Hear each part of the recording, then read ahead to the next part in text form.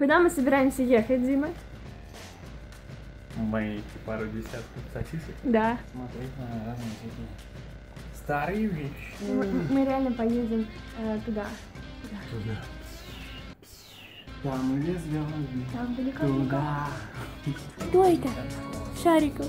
С каждым разом от Алиски уходить все сложнее. Она становится взрослее и понимает, когда мы уходим. И тянет ручки, просится, чтобы мы с ней посидели. Постоянно какие-то игры придумывает, чтобы мы с ней играли. А ей всего 10 месяцев. И, и это...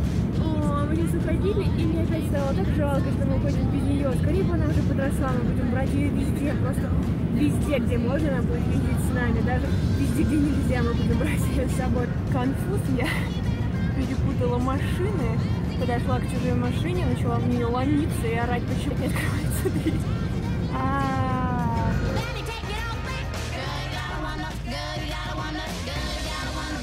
Проблема гаражных продаж была в том, что там, как я показала, в самом начале продавали арабские духи. Сильнее всего в жизни, наверное, кроме запаха арабских духов, я ненавижу ничего. Это отвратно. Как только я чувствую запах вот этой вот, вот этой вот фигни, заткнуть свой нос. Это прям ужас какой-то. Так что нам пришлось Димой покинуть эту гаражную распродажу. И он сказал, что там очень много ништяков, которых он не хотел себе приобрести. Так что,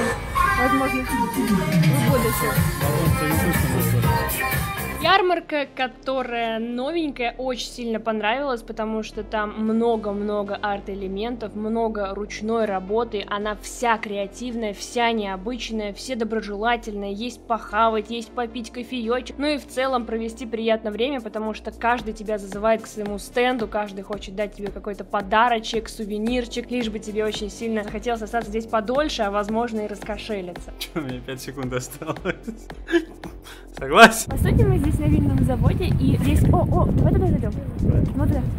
Наивно очень.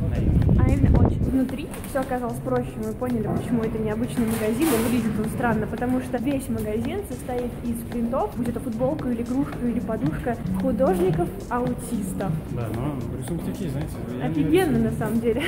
Там- нет, там нет, даже нет, не мы рисунки, нарисуем там- так, там просто идеи это классные. идея, именно, да, именно, именно концепт такой интересный. Но, к сожалению, мы сейчас не можем себе купить эту подушку, потому что у нас более важные цели для накопления есть. И тратить полторы тысячи рублей на подушку, я хочу сказать, что мы не просто так, типа, знаете, ждуем, копим на очень крупную цель, на которую копить нам еще года три. Подушка за полторы тысячи может подождать года три. Вот про выставку старых вещей ничего положительного сказать не можем, ибо сразу с лету нас встретил огромный дикий перегар. Все бухали, я оказался с Евой как будто бы на базаре, а не на выставке. Люди злые, люди... Ну нет, те, те, которые бухали, были на веселе, но в принципе недоброжелательные. Все как-то саркастически шутили, и все было дорого, необычайно, непонятно почему. По две, по три тысячи, блин, за одну брошку. В общем, впечатления именно с выставки старых вещей такие себе. Попадались даже люди, которые запрещали тупо снимать свои товары. Видать, продаются хорошо.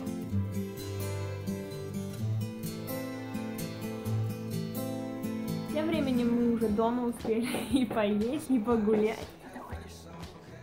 Глаз мне пальцами. Мама там вон, вон работать пытается, а тут пришла Алиса и внезапно решила, что масочка ей очень нужна. Что ты делаешь? Папа вот здесь играет в футбол, и вот здесь папа в футбол играет. И Алиса растерялась. Куда я смотрю? Ну, маску, конечно. В общем-то, сейчас мы еще посмотрим кино. И э, на, потом уже ляжем спать, потому что мы жутко хотим спать. И знаете, зачем мы хотим спать? Из-за этого. Вот это из-за этого. Сегодня, чтобы поездить по этим выставкам, которые нам очень сильно хотелось посетить, нам пришлось вставать гораздо раньше положенного. Всем большое спасибо за просмотр этого влога. И всем пока-пока. Это только понедельник. Что вас ждет дальше? М-м-м. Алис, Мгм. давай. М-м-м. На танцует.